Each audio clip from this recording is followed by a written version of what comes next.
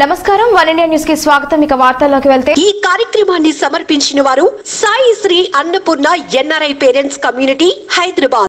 Amadalavalasa నియోజకవర్గం సరుబుజ్జిలి మండలం పెద్దపాలెం గ్రామంలో ఆమదాల వలస నియోజకవర్గ ఇన్ఛార్జ్ పేడార రామ్మోహన్ రావు ఆధ్వర్యంలో ఇంటింటికి వెళ్ళి జనసేన పార్టీ సిద్ధాంతాలు షణ్ముఖ వ్యూహం అధినేత కౌలు రైతులకు అండగా నిలబడే విధానం మరియు నియోజకవర్గంలో పార్టీ గెలిస్తే ప్రజల పక్షాన నిలబడి చేసే పనులు వివిధ అంశాలతో కరపత్రం రూపంలో జనం కోసం జనసేన కార్యక్రమంతో వివరించి గ్రామంలో ప్రజలు ఎదుర్కొంటున్న సమస్యలు తెలుసుకొని ఆ సమస్యల పరిష్కారానికి తనవంతు కృషి చేస్తాను అని హామీ ఇచ్చారు.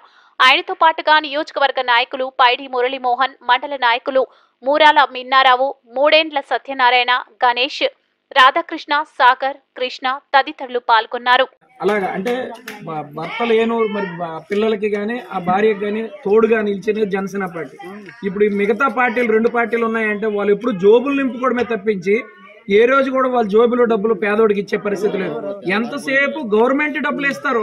అది ఇస్తాను ఇది ఇస్తాను అని చెప్తాను కానీ వాళ్ళు సంపాదించుకున్న డబ్బులు ఫ్యాక్టరీల మీద ఫ్యాక్టరీలు తరాలు అంటే తరతరాలు వాళ్ళు తిన్న తరగనంత ఆస్తులు సంపాదించుకున్నారు.